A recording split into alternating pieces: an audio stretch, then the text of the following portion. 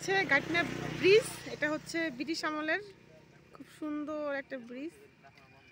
আমরা প্রায় সময়ই দেখি ঘাটনা ব্রিজ। এই হচ্ছে ব্রিজ। ব্রিজটা আমার হচ্ছে একটা সার্কেল।